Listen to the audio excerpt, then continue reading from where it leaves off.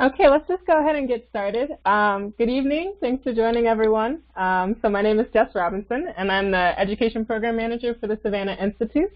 And the Savanna Institute, just in case you guys don't know, is a nonprofit organization that works in collaboration um, with farmers and scientists to develop perennial food and fodder crops with diverse, multifunctional systems grounded in ecology and inspired by the Savannah and Savannah biome. Um, and so I'm really excited to introduce our speaker for today.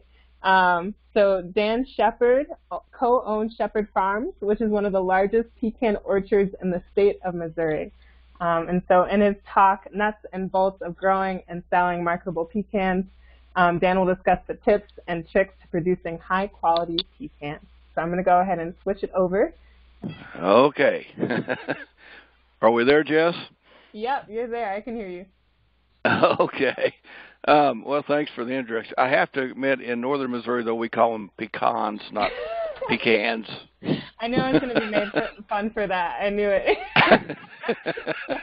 if you're in the south, they're, they're pecans. Okay. Oh, Missouri. Anyway, that's uh, it's pronounced both ways, I guess. But uh, uh, anyway, up here we we like to call them pecans. This is uh, more of a of a little deal. Anyway, uh, anyway, I want to welcome you all to Shepherd Farms. Um, just a, a little bit about us. Uh, we're um, located in Clifton Hill, Missouri, and it's a big metropolis about 114 people. Uh, we're about 90 miles south of the Iowa border uh, about 100 air miles due east of Kansas City, or about 45 miles northwest of uh, Columbia, Missouri, where the University of Missouri is located. So that's kind of where we are. We're a, kind of a large farm, multifaceted. We, you know, we run uh, about a total of about 4,000 acres total on the farm. We're uh, soybeans, uh, corn, wheat, and uh, and pecans. Uh, so all that uh, kind of works together on that. I personally don't do the the corn, soybeans, and wheat. I just handle the pecans. I have a very good renter that uh, takes care of the rest of the farm and stuff for me as far as as the row crop. I'm a little too big uh, to be a small farmer and a little too small to be a big farmer. Kind of in an odd situation there. But anyway, we're here to talk about pecans and stuff. And I'd like to introduce myself. I'm Dan, and this is my lovely wife Jan. We've been married for about 35 years. Uh, she's my bookkeeper and she's the store manager, head of the shipping department, and she also tells me how much money I've got in a bank account, so uh, and I go so I can go out and spend it. So uh, it's it's been uh, a fun 35 years, and hopefully we can have a 35 more years.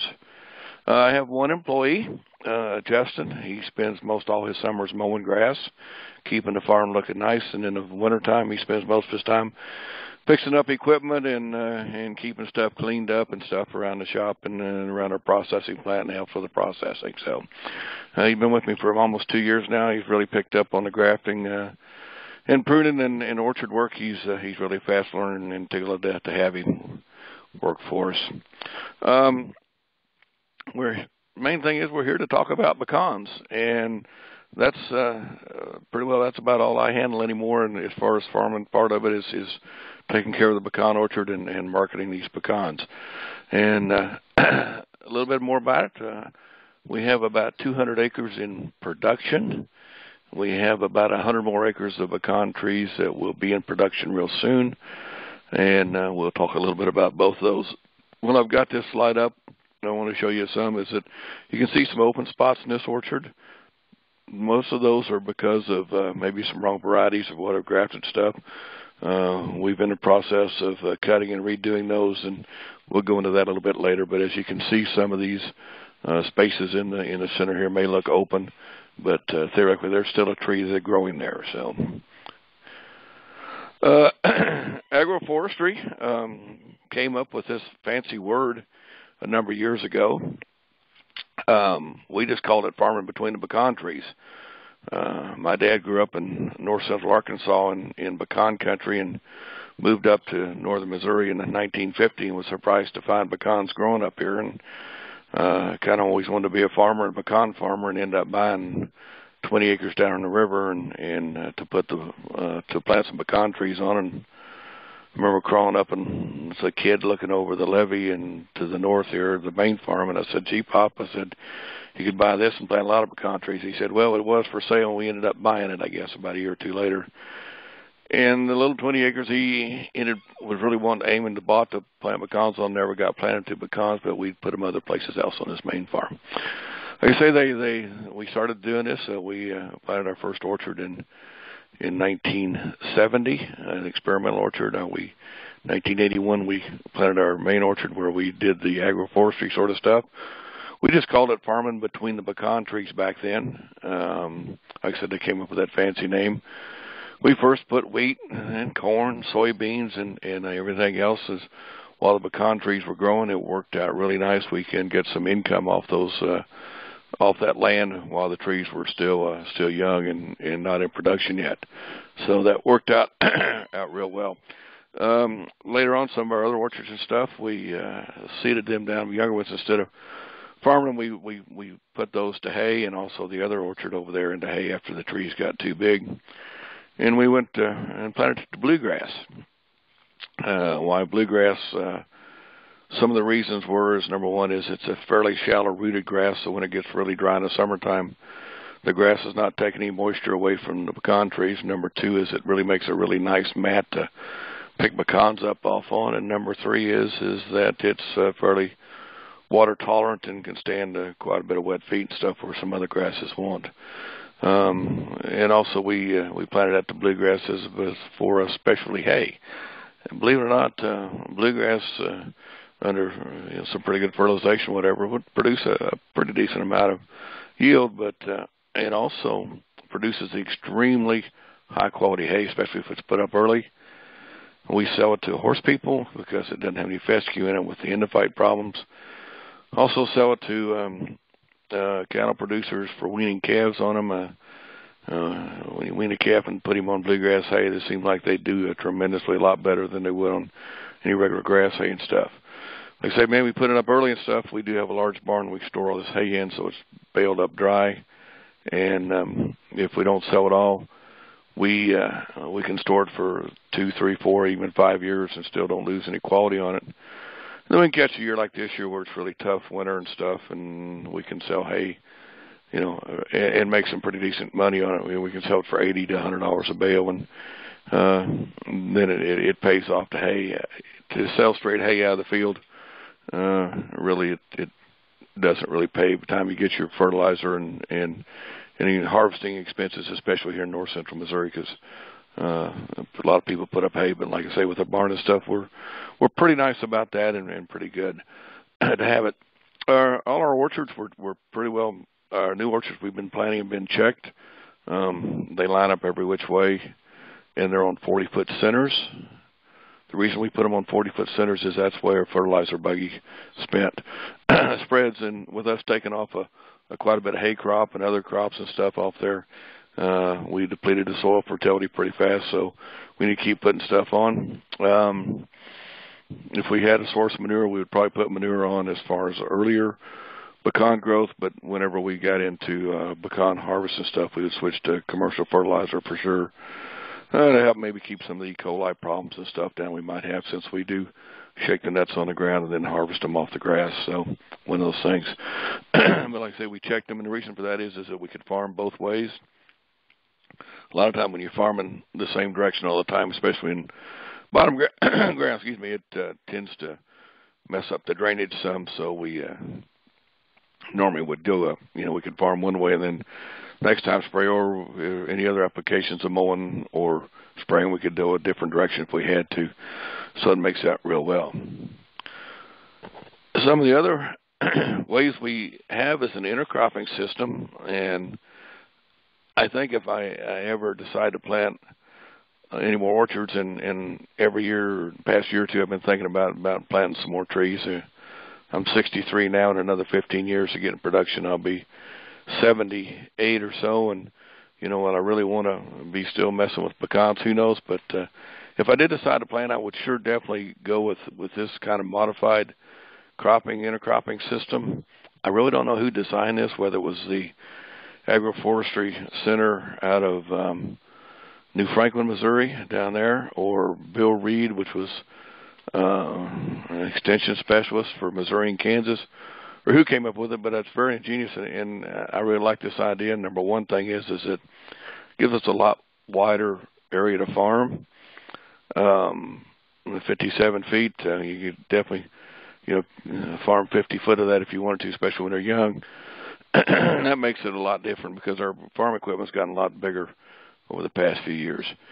Number two thing is it has a nice grass alley between the trees and those narrow rows. That way we can get out and care for our trees, you know, do some some weed and grass control on it, uh, uh, grafting, pruning, all that sort of stuff. And with the intercropping, it's pretty hard to get out and do a lot of that. But with those grass alleyway in between, I think it's uh, one of the nicer nicer systems I I look at. So that's uh, if I had something to do over again, I would would probably would probably do this. And also, we got about the same number of trees out there as what we would on on 40 foot centers. Um, a lot of people say, how do we start trees and stuff? Uh, do we buy bare root trees or potted trees or any of that kind of stuff? Uh, no, we do the simple way. We want a tree, we plant a nut, and over the years, it's worked out great for us. Granted, we've done done a little of both or all three, bare root and and potted trees and nuts, and I guarantee at the end of five years, uh, uh, a planted nut uh, will be just as tall as any of the other trees that you know whether it was bare root or potted. So uh, you really don't gain any speed or stuff. The only thing is maybe you know you have to graft them. The nicest thing is in this part of the country, I do not have any groundwater, well water for irrigation purposes, and I really don't have any irrigation water whatsoever here. So um, if we plant a nut, I don't care how dry it gets. Uh, it'll survive with uh, with without having to do any watering. And if I had a thousand berry trees out there and had to water a thousand trees, uh, matter of fact, last summer, it would have been impossible, and I would have lost probably 95% of them. So if we planted a nut, uh, you know, it came along and it lived, and it it, it did okay. So one of the things to think about, these are uh, shepherd variety pecans, and we use them or Kanza or some other uh, decent northern variety. We definitely don't want to use a southern variety as a rootstock. Uh, and this far north and stuff, uh, we get a real cold winter, and it uh, it will kill the kill the tree and kill the rootstock and stuff. Whereas what we're using here uh, works fine and pretty well about anywhere you would probably want to plant a pecan tree. Um, when we plant our trees, we plant them in blocks or rows, and uh, and each row's numbered or, or blocks numbered, and uh, with the name of what they're grafted to, and also uh, uh, the variety, I mean, I mean, and also what row number it is. And the main reason for that is is uh, um, in harvesting when we harvest the pecans, we can all harvest the same variety at one time, and then if not, um, if if we are, then then when we clean them, you know, we're cleaning the same varieties and stuff, so the electronic sorters can pick those out easier. And then also in the processing, we can set the crackers for the one size. Uh, nut of you know if it's a thicker shelled pecan, and we had to mix in there of some thinner shell pecans. Uh, might not crack the thick ones and smash the other ones. So it works out a lot better if we can kind of keep our our, our variety separate uh, when we do pecans in the orchard. Um, as you can see uh, on this tree, uh, about three feet up is where the graft is. Well, really, we've changed that tree. It was from a native nut of some kind and uh, we've genetically modified it now to produce a you know a superior nut that we found that we like, and we've taken uh, some twigs off and stuff. Uh, we graft uh, all our trees. Uh, that way we know what they're going to produce. If not, you know, it, you plant a nut, you don't necessarily know what you're going to get. It could be a small nut, a big nut, a great nut, a terrible nut, whatever. When we graft them, we know exactly what they're all going to be, and uh, also um, it helps some with disease control and uh, also gets us in production uh, quite a bit sooner because we're putting mature wood on, on, on juvenile wood, and it uh, it makes them start producing nuts a, a lot sooner in life. The downfall of that is is that they're a little harder to prune and keep growing straight because they kind of want to grow every which way instead of a central leader straight up like a young tree does. Um, how we get our wood is we uh, we cut scion wood, and this um, is where we go and cut last year's growth, and probably tomorrow we will cut our scion wood or start cutting on scion wood for grafting purposes. I like to have three mornings in a row above freezing in the spring, and I think we're going to hit that uh, tomorrow. So we're going to go out and, and cut, and, we'll put the scion wood in the in the coolers and uh, refrigeration until we get ready to to graft. Um, a lot of people want to know about grafting and stuff, and and uh, I'll play a short little video of, of, of how we graft and maybe kind of explain as we go along on this, and we'll go from here. Um, little film, uh, uh, one of my kids shot and stuff. Here we go with a young tree, and we find a nice spot to put a graft that's straight in there. Cut it off, hand the top over to me, and while here, Greg is is in the process of doing a, a four flap banana graft. He's splitting the bark on four different sides, and then he'll peel that down like a banana, as he's doing now. And you have to do this when the bark will slip in the spring, late spring. Uh, we can graft mainly on up till about the 1st of June. After that, we're done, but we'll normally start around the 1st of May. Cut that off and nice and level. Put that back up so it doesn't dry. Well, he handed me the top. I go take the top and I try to get in the box of, of scion in the cooler and find a little piece of wood that's um, the scion that's maybe just a tad bit smaller than what that end is. Uh, I find one that gets close, I'll put him to side, look around for some others. Yep, just a little bit smaller is perfect. So throw that away and, and keep the scion wood. Uh, cut the bottom off uh, right above the first uh, bud and take my utility knife, which is extremely sharp. It's easy, and put about four cuts on it.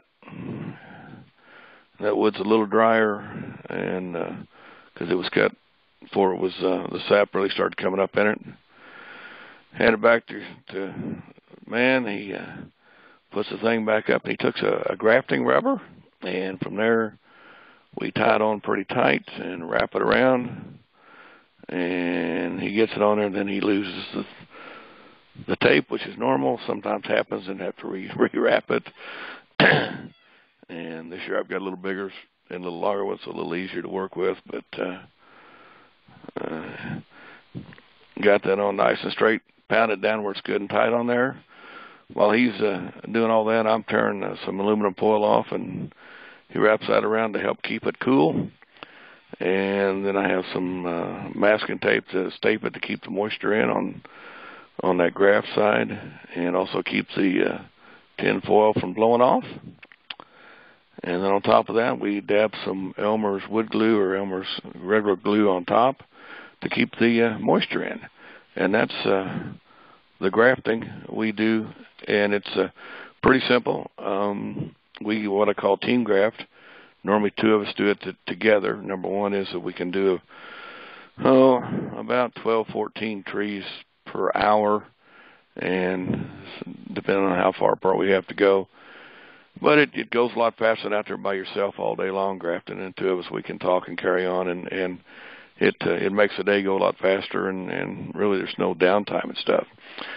Uh, this is a picture of a of a tree that is um, was cut off and uh, grew uh, one year up, and then uh, second year uh, in spring it was grafted, and uh, in one year growth we got about three foot of growth, four foot of growth on it. So um, we cut a tree off and and what we call a stump graft on that thing. Uh, you know, in a couple three years, it's uh, the tree's already seven feet tall. um, the old cut tree, and you can see this tree here also is where it uh, was come off. And what this was is where we had some some mix up in varieties that we thought were really good, and they tended not to be as good as we thought.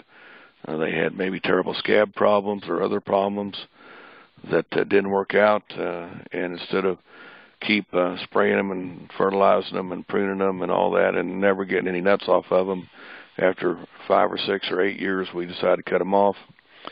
What we will do is we will cut those off um, at right at the ground level, to let a sprout come up, and then we would um, uh, regraft that, and within uh, normally about five years we'll start getting production off that tree instead of waiting for 15 or 20 years if we'd have planted a nut. So it works out a lot better. We put white paint on where the graft is, so when we come along, we know where that graft is in case uh, you know whenever we start to prune it and whatever, or when we're coming down the road grafting. This is about as big. We'll stop painting them from now on. Um, you can see this uh, tree here. It's a regrafted tree. I guess it was probably uh, grafted about oh, seven years ago, and to a Pawnee variety. I would say um, it seemed like to me that tree probably produced about maybe at least 100 pounds, maybe 150 pounds of nuts this past year. And at three dollars a pound, you know, we got three, four hundred dollars worth of nuts off that one tree. So it really paid off to regraft them and wait the time.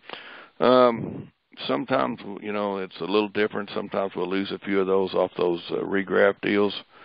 They will, you know, get a big win because they haven't formed completely around the root. They they will blow over sometimes, but normally if we only lose about 10% to blow out, so it's way worth the the, the deal to to handle that. Um, it's not really that big a deal. Um, really, what we look for though is to you know is this uh, nice variety of pecans to come off. Uh, they're ready to shake. The uh, they've dried up well, and uh, you know they're starting to open up and just uh, getting ready for harvest. This is what we're looking for at the end of the season every year. Some people want to know what kind of varieties we graft um, that we have grafted in our orchard. Uh, right now we have a lot of Pawnees. That's a really nice nut. It's it's almost a paper shell from the south, but it uh, it grows grows grows well up here. Uh, it will mature. Uh, some of the bad things about it is really got a really too soft a shell. Um, in harvesting and, and stuff, it tends to crack and break a lot worse than a lot of the others kind of a job to pull off because we have a broken shell. We can't store them, so that has to come off. Uh, nice thing about it is that we can sell those as hand crackers, and we sell those for three dollars a pound. Uh, whether you want a thousand pounds or five pounds doesn't make much difference. It's still three dollars a pound. It does get some scab, but I hear I don't have a trouble with scab on that variety here on the farm. Our next one we grafted quite a bit of is, is Kanza. Came out of Chetopa, Kansas, down there. It's half uh, major pecan, which is a round one, so it makes a pretty round nut. Uh, it's one of the best. It has a great flavor. It shells super easy. Um, it has no scab problems whatsoever. But I have had a little cold damage, especially on some really fast-growing uh, uh, trees uh, of the, of the Kanza. Um, I'm still happy with it. Uh, we'll still be grafting some definitely finishing some orchards and stuff up with those. Another one we grabbed quite a bit of is a shepherd. Um, that was named after uh, after us, I guess. Uh, my dad bought a tree over uh, by Brunswick, Missouri, in the Dalton Bottoms uh, number of years ago to get scionwood off of it. It was really a nice nut. Uh, and uh, we was sitting around thinking what we was going to call it, and I said, "Well, Dad," I said, you own it or we own it, we might as well just call it the Shepherd. So we do, and uh, it's turned out real well for us. It uh, it's won quite a few nut shows over the years and stuff. It shells out well percentage wise. It has a really beautiful looking nut. It's oblong shape. It works in the crackers real well. Nice thing about it is it doesn't get scab, which is a fungal disease, and it's it's very very cold hardy. So if anybody you know definitely no problem grafting. As far as I know, uh, you know, even farther north than here, it works out real well. It's not a huge nut. It's about a size 12 or 13. And it's not a it's not as big as a as a Pawnee or some of the others, but it uh, it is a really nice size nut, a lot bigger than the native stuff. We got quite a few Witties grafted. Uh, Witties uh, is a really ugly nut meat. When you crack it open, it doesn't look very pretty. It tastes really good, but uh, not the most prettiest nut in the way. Um, it's uh, it's cold hardy. Comes out of Iowa, and uh, it does get some scab, but uh, not a tremendous amount. But it is a good producer of uh, about every year, and, and has a pretty good crop. So it uh, it helps fill in the deal. The Niblacks, uh, my mother's favorite. Uh, it shells extremely well. Uh, it cracks open into some beautiful, really light colored halves, and uh, not really heavy producer and the problem is, it seems like the stink bugs really, really love it. And we have quite a bit of problem now with stink bugs, and, and that was one variety seemed like they really work on a lot. We have quite a bit of Colby grafted. It's uh, one of the earliest nuts we harvest. It is terribly bad on scab, though, and it has a really hard shell. And it's a fairly nice sized nut, and it's a good producer, but but the scab problem is a little different. The Mullahy, if I'm excuse me, the Niblacks comes out of Indiana. The Mullahy comes out of Iowa. It's cold hardy and it has some scab, and it's just about an average producer. and we have some Peruque and some Peruque seedlings. And uh, bad thing about it is it's really scabby and a very thin shell, and it's fairly small, so the birds just love it. Um, you know, percentage-wise, it shells out well and everything else. It looks good. People really like it. It's got a great flavor, and so the birds and the and the insects and stuff and uh, other animals. So we uh, we take pretty well note of that. Some of the other stuff, uh, problems we have is stuff that everything loves a pecan. Uh, past couple of years we've been hit really bad by the Japanese beetles. Um, I really hate spraying, but uh, those things can de- can take a, a bunch of leaves off, especially off the younger pecan trees and the young grafted trees. So we keep a pretty close eye on there, and it seems like all they want to do is breed all the time, and that's about what they're doing over there. All I don't know. Um, like I say, everything loves pecans. We have trouble with walnut caterpillars also, and tent caterpillars and that sort of thing, just like anything else. What we found out is, you know, if you've got one pecan tree out there, you don't really have a whole lot of problems. But when you get thousands of them put together, then you have some other problems and stuff, and and it kind of feeds on itself and ends and stuff. These are walnut caterpillars in their last stage and stuff. They can pretty well take every leaf off a pretty good sized tree in, in just almost overnight. They're ferocious eaters once they get to this this final stage of the white hair. So uh, they're fairly easy to control, but uh, there's something you sure need to watch out for because when a tree loses leaf, it's got to leaf back out, and from there on, it uh, you know net yields and stuff slow down.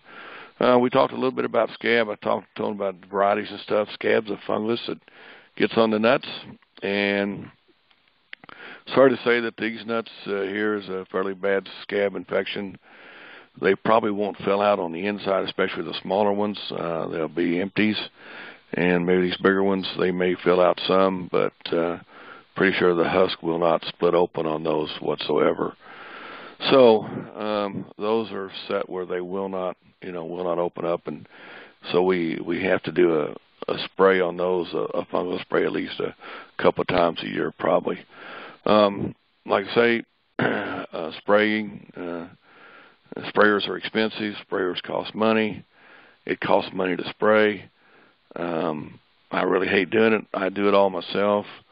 Um, we do most of it at night, so uh, really makes uh, makes it for a long day and a long night, especially when me working all night. I'm not a teenager or young in my 20s anymore, could stay up all night, but uh, I still get it done and this, that, and the other. I wish I didn't have to do it, but if I didn't, uh, definitely spray for some scab or some other stuff. Uh, I really can't afford to lose half my crop at least, uh, and go that way. Um, we've tried some of the other uh, alternatives of, uh, of of non-chemical control. They really haven't worked very well for us, so we um, tend to go with uh, with the regular insecticides and, and and fungicides to help hold these uh, these insects and stuff down. Um, some more of the problems and stuff we have. Uh, I'm kind of lucky I don't have quite as much trouble with squirrels as other people do. Um, I do sell a lot of nuts to people with pet squirrels, though, so that's kind of one of the nice things. Um, some of the other problems we have is there's the um, a crow. Uh, if you notice, that crow's got a, a pecan in his mouth, and he uh, uh, they're uh, they're thieving boogers. They'll uh, pick a pecan up and eat it there, or peck on it and halfway eat on it, which is no good. We harvest, we got to pull him out, or he'll fly off with it and he'll drop it. and He'll come back and get another one, whatever. Uh, I do have a gentleman that loves to uh, hunt crows, and uh, uh, he educates them pretty well, so it's, it stopped a lot of our loss. But at one time, we were losing better than a thousand pounds of pecans a day to our crows, and you know, at uh, two, three dollars a pound, that adds up pretty fast. Uh, in a couple weeks' time, they can they can really do a lot of damage to us. So, anyway, that's uh, just part of what we have to do. Um, as you're coming along by the farm, you'll notice uh, quite a bit of pecan trees. Our orchards, most of them are right on a U.S. highway. We have great highway frontage. Uh, we keep the highway right-of-ways mowed. We have trees along the right-of-way that uh, kind of lets people know they're getting close to us and stuff. And then uh, uh, no source close, and we have a large sign on the highway. And if you can miss that sign, you probably shouldn't be driving stuff. Just uh, you know, telling everybody we're a half mile down the gravel road. Uh, you know, and we used to do a lot of advertising and word of mouth, radio, whatever. We do some Facebook. Uh, internet's kind of becoming a huge part of it. Um, I show some cars, take some pecans there, give some free samples away, and it's really improved our sales and stuff. so that's some of the stuff we do. And like I say, that large sign on the highway directs everybody down to our farm store. And this is our farm store and office set up. Um, you can tell um, we're open three months out of the year, October, November, December. We used to be open year round. We had uh, um, American bison stuff, and we sold meat year round and stuff. And but now since we're out of that business and just strictly pecans, we're open three months out of the year. Uh, the main thing is keep the you know your place neat and clean looking. Uh, you know the the the walk swept off. Uh, have some nice looking flowers. Keep the yard mowed. And the same with the orchard. You know, you keep your orchard if you look professional and like you have a lot of pride in your your business or your farm. It uh, it seemed to to to really uh, uh, really improve the sales and stuff. Uh, people like to see successful places, I think, and and they like to uh, you know if it's clean and nice, it it really makes a, a difference on some of our sales. Inside our store, we we sell other things besides just pecans. We'll sell cashews and mixed nuts and chocolate covered stuff and cinnamon pecans and that sort of thing. Plus a line of jams and jellies and stuff. We have a private label put on for us that has our name and stuff on it, and uh, a lot of sugar-free jams and stuff, and become a fairly big seller for us also. So we we do that. Um, we keep our pecans in a cooler, uh, and we crack them and stuff. We bring them in and put them in a cooler, keep them cool. A couple of reasons for that. We used to do it when we had them in paper bags keep the oil from coming through the bags so bad. Uh, but anyway, now we've gone all to plastic with some air holes and stuff in them. That way everybody can see what they're buying, and people really like that, especially on the blown ones where they've been uh, cracked and some of the shells been blown out. It keeps a lot fresher, keeps them a lot lighter colored. If you let them sit out for a while, you know they they tend to get a little dark fairly fast. We sell them in in one pounders, uh, jars, two pound jars, or three pound bags of the shelled ones and three pound bags of the blown ones. And also we keep we sell black walnuts and stuff in one pound jars and stuff. And like I say, we put a new cooler in. It's working really well for us this past year and been well received, and people can see exactly what they're buying and getting around a lot better. Um, we also in our store we we do the cracking and processing in the back. I have a big picture window there where people can stand and see how we're we're doing, how we're working, how the machines work and stuff. It's kind of amazing. Uh, by the end of the day, there's shells and dust flying everywhere back there, and but uh, after we get done cracking, it's uh, you know everybody you know we pitch in and clean up real well, and sweep up every night, and where it looks out beautiful. Normally we crack about two days a week, and uh, rest time people can see what we're doing, where we work back there. It's nice and clean, which uh, people really impressed that. They said they like to see where their their pecans are being being processed and know it's clean back there. So we don't have too much of a you know I mean people just they know what we're doing. We don't try to hide anything at all. Um, here's uh, pecans after they've been washed and sanitized uh, on the drying tables. They'll set it out here for a day, maybe two at max, and uh, be ready to be be worked up and gone through the the system. And uh, when we're blowing stuff, uh, we uh, hire about three or four. Normally, uh, young ladies. A lot of them are single moms or young moms and stuff, and they got kids in school. And we work around that pretty well. They can come in at eight o'clock in the morning and pretty well get them out by three. Uh, some of them can stay over maybe and, and help clean up afterwards. We try and be done cracking by three in the afternoon and then uh, uh, the help that doesn't have kids can can stay around and clean up and and get everything wiped down and ready to go for the the next time we do. Uh, we'll normally do about 5,000 pounds of of in-shell nuts a day when we process, uh, and um, I pay them I pay them help pretty well there those those gals so they uh, they show up and and are ready to work whenever whenever we need them. Like I say, we normally work about two, maybe three days a week in there, and then later on the year we'll do some shelling pecans and stuff. a lot of the pecans and problem with the pecans and stuff we sell is that people want pecans the first of October. Pecans really don't start falling until around the first of November. We'll start sometime harvesting around the 20th of October, but uh, time we get them dried and cleaned and everything else, it's normally the first of October before we can get those on the market. So we do. We have on-farm storage. I have a large freezer we can drive a forklift in. Each one of those white bins you see there on the left uh, hold about a thousand pounds of pecans. Uh, normally we put about 40, 50,000 pounds in there. I can hold up almost 75,000 pounds if we stack it clear full. Uh, the boxes and stuff is what we store our pecans in. These are ones pretty well we have shelled out and strictly for nut meats, whether they be in canisters or or uh, three pound bags and stuff. And you can see, uh, you know, we have our own boxes uh, printed so we can mark on exactly what's in the box, whether they're shelled pecans or blown, and how many's in there, and, and the net weight and stuff, and our name and telephone number on the boxes. And most everything we do out is for commercial stuff to, to other wholesalers, to grocery stores, bulk food stores, that sort of stuff is in these boxes, and and uh, so everybody knows what's in them and where they come from, and it's a nice new box. So uh, it works out real well. We keep all these um, at zero degrees. We'll start filling the, the freezer normally about the middle of December, definitely by the first of the year. Uh, they're out, the pecans are stored out in another building without any heat and stuff out there. So as they're cleaned and dried and put in the bins, we get ready. We'll start stacking them in the freezer. And like I say, keep them at zero, and they're they're farm fresh as can be. You really uh, got people now that really rather have the last year because they they're seasoned. They don't have that green taste to them, but it works out uh, out well for us on that sort of deal. Some of the other things we used to sell and stuff we don't do anymore, but uh, when we had a store year round with the buffalo stuff, we raise sweet corn. Um, have sweet corn about four or five times a year, a day. You know, days is strictly. Um, sell it fairly reasonable and we'd sell you know forty fifty thousand ears a day when we had our sweet corn. We had people come from Iowa and Illinois to buy corn from us. Um, instead of paying three dollars a dozen for it, we'd sell them for a dollar and a half and make it up on volume.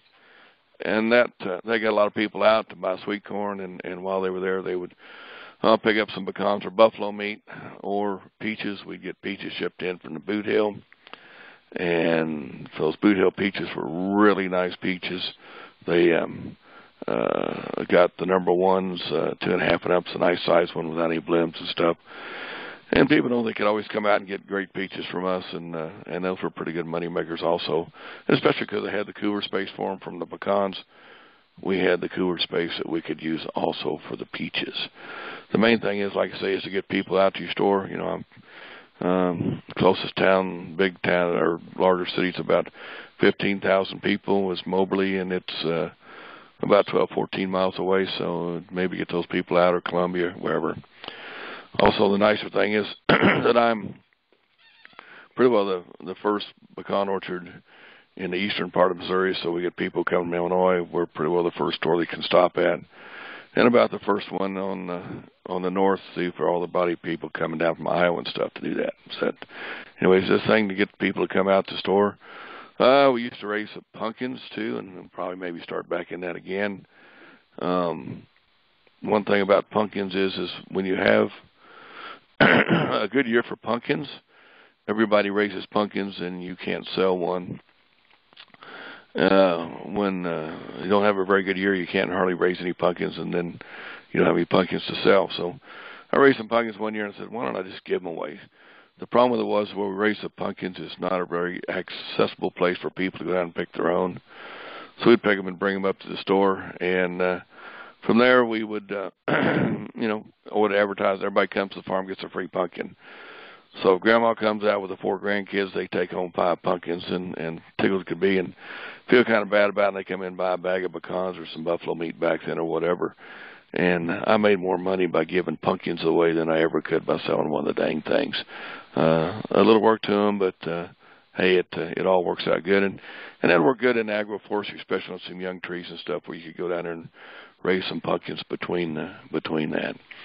Um, you know, a few few little thoughts about this. Uh, um, some of the chemicals in farming and stuff anymore has gotten where Roundup is really not very good around pecan trees. It uh, it'll tend to to set them back some, especially on the young trees. And some of the Liberty Link is the same way.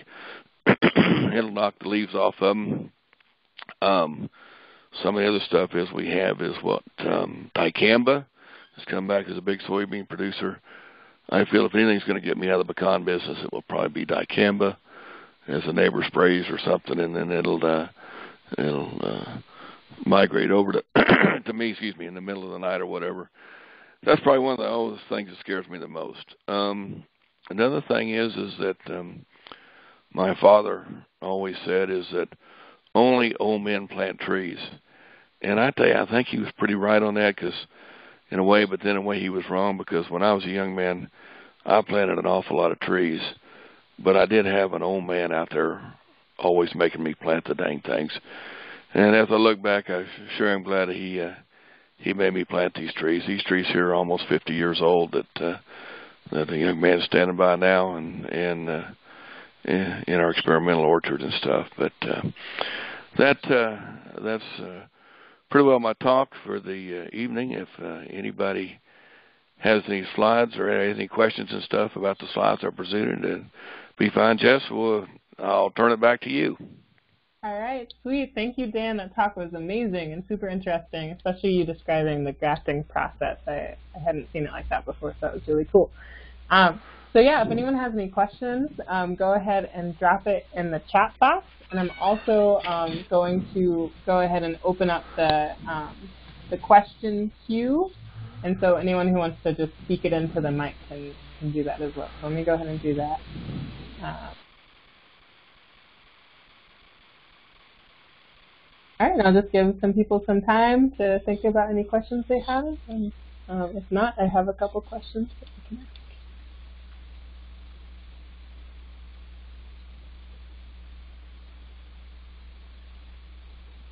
Okay, we have a question from um, Josiah. So he's asking, give me a second, um, why did you get into buffalo and what was your favorite grazing animal for the orchard?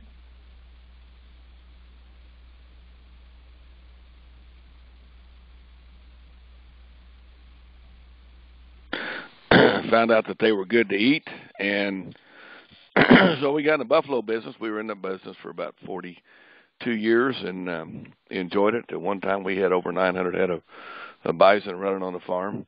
The thing about it is that we never ran them in the orchards. Um, one of the reasons on the small trees is cattle or, or anything else, you had to fence them off the, the orchards.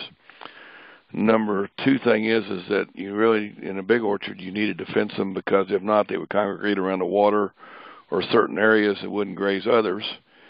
And number three thing is is that uh, whenever uh, in orchards get big enough and we get a wetty a wet spring like this that they could pock the ground pretty bad uh, and hard to pick up the nuts and stuff. Also, cattle manure or any manure, especially cattle manure, grass manure, on pecans is almost impossible to get off, so we do not graze our orchards. Um, I know some people do, but for me, with retailing them all that kind of stuff, I, uh, I I just I just don't do that. So. All right. Any other questions? Got, another one um, from Nelson. Would there be any other trees you would plant as a companion species with pecan or pecan? i guess you know, it's a monoculture. Um, we did have some other varieties. Well, my dad, we had some. We planted quite a few black walnuts in our orchard, um, and where we had some tree skips and stuff. My dad loved black walnuts, and I do too. I really like them. My wife hates them, but I really like them, and and they they were all grafted, and everything worked out great. But the problem is, is when you go to take care of pecan trees, you got the black walnuts in the way, and they were really hard to separate out, especially in the size that we were we were doing it with machine. and when you're picking up pecans, you'd always pick up a black walnut. Now we cut these black walnuts out probably 15 years ago, and I'm still every once in a while picking a black walnut up, still left over from all those years. Um, just didn't work very well. It was a completely different spray schedule for them compared to what it would be for a pecan. My dad also grew up uh, eating hickory nuts, so he loved what they call a hican, which is a native natural cross between a hickory and a pecan. And that uh, that's really fine. If you grew up eating hickory nuts, you love them. If you don't, you know, you, you never did. You, you really don't care that much for them. The same way with them, um, a whole completely different schedule on harvesting a whole completely different schedule on on spraying and stuff because they had a tremendous uh weevil problem where where the you know most of the nuts would not be good if you didn't hit the spray just right on those and uh really didn't have a lot of sales because most of the people that grew up hickory eating hickory nuts are no longer with us anymore. So that market kind of went out. So we cut most of those down. I think I have a couple of trees left, but we probably had five or six hundred of them at one time. But we cut them out and and regrafted them to pecans, and like I showed you there, that are now producing pecans and stuff. Um, I understand where you're coming from, um, but in our situation, it just worked better just to stick with a with a monoculture as far as uh, trees and not have any other companion trees in there. We took all the rest of them out. All right, so we have another question um, from Josiah again. So, what size of um, what size of orchard is non-chemical pest control no, no longer feasible? Oh, non-chemical pest control.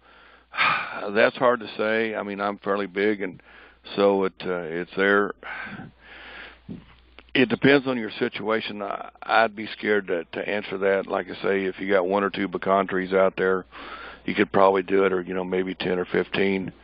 But you get much more than that. You know, you're going to start ending up with some insect load, pretty heavy load and stuff, and kind of hard to take care of them. And then uh, I don't know. It's it's you know we've tried it, you know a little bit of it, and and it never really worked. You know, in a few orchards for us that we tried it in.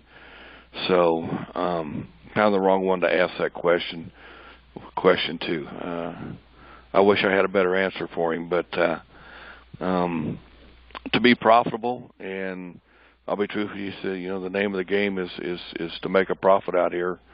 Um, I like paying taxes, and if I'm paying taxes, that means I'm making money, and my pecan trees are doing well. So, and then that gives me something that I can go in and and, and improve and add to the farm and add more land or or more equipment or more machinery or whatever. So uh, the main thing is you know is, is for us was to to maximize the maximize the profit and maximize yield on these pecan trees at a reasonable cost.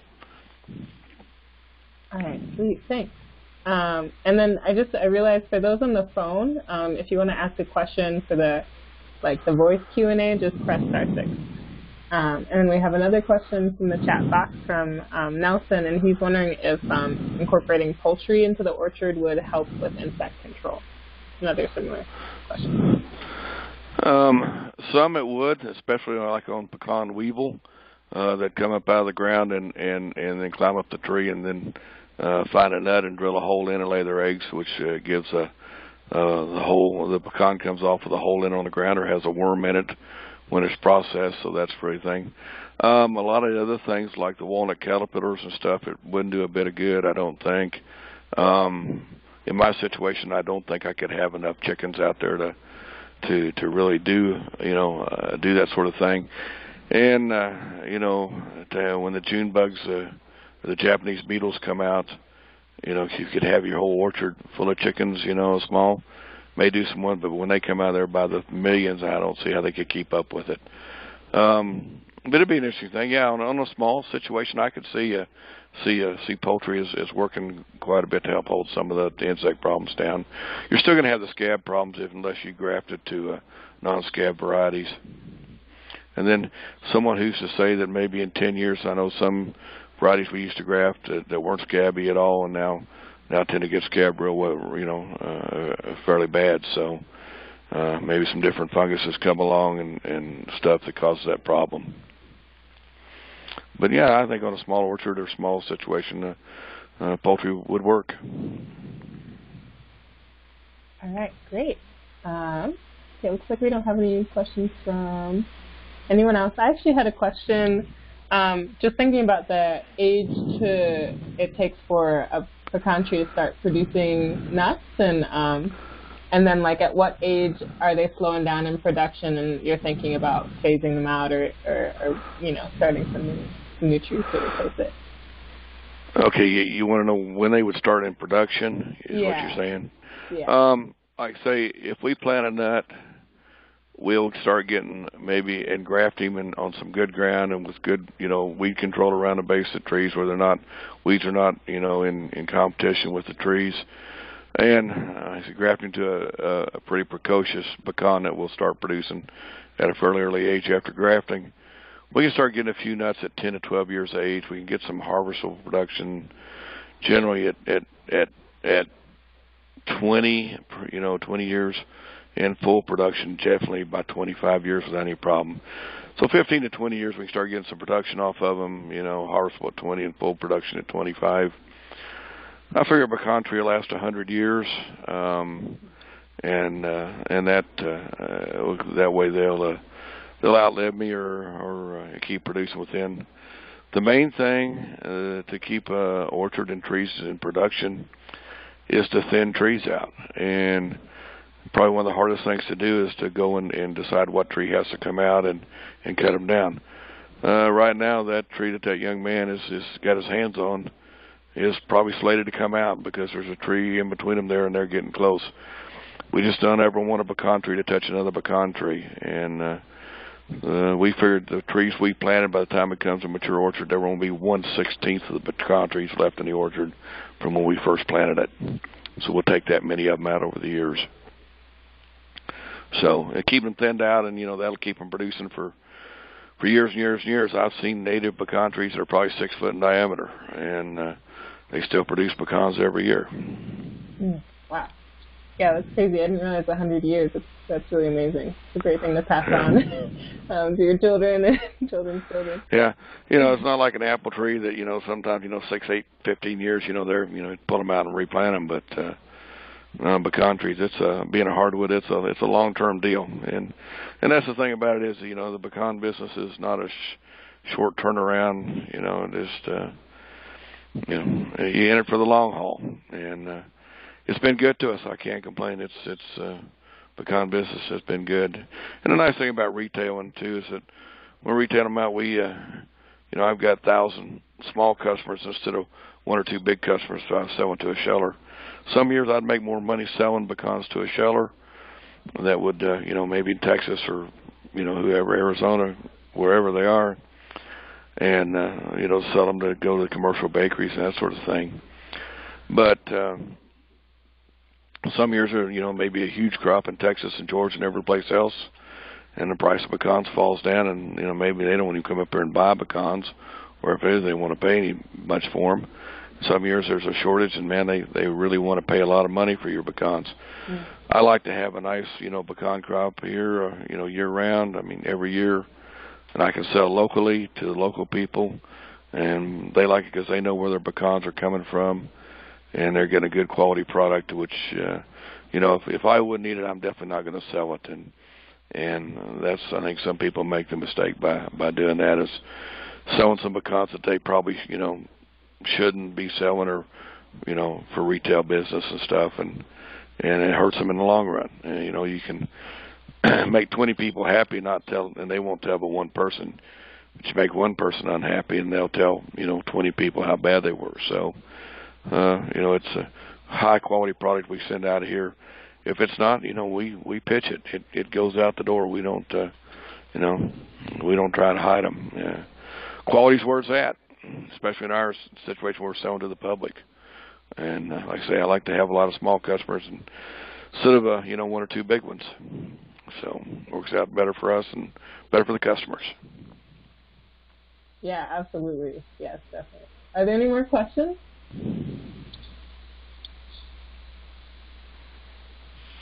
All right. I guess.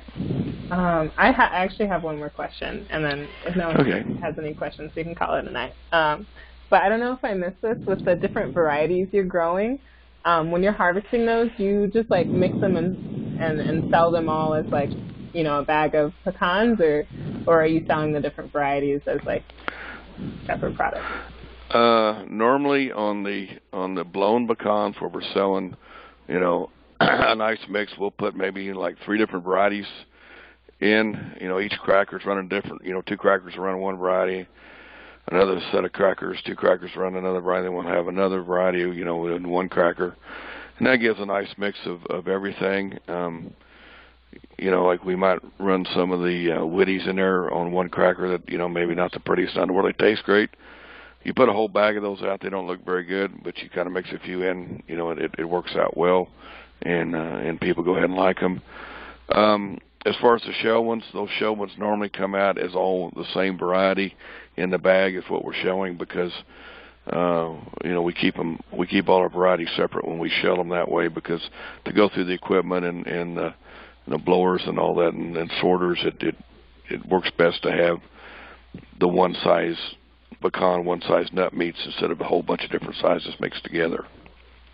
So, on our shelled out ones, complete no shells, they're they're separate varieties, and then the uh, the blown ones are normally a mix of at least three varieties.